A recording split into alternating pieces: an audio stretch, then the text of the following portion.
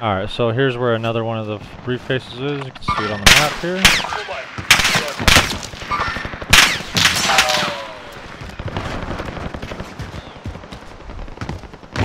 Enemy RCXD Didn't really get a look at the pictures, but at least now you know where it's at.